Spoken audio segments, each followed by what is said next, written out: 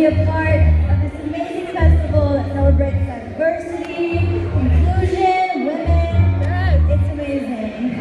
Um, I love Coca-Cola too. Shout out to my Coca-Cola friends.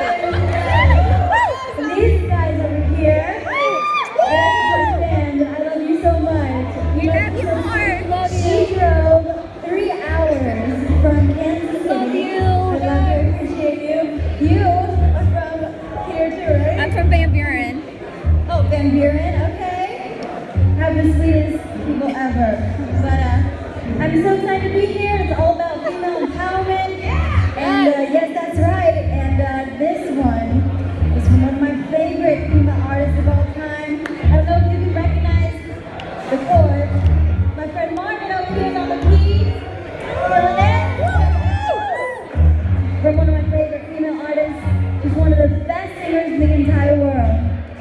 Miss Whitney Houston.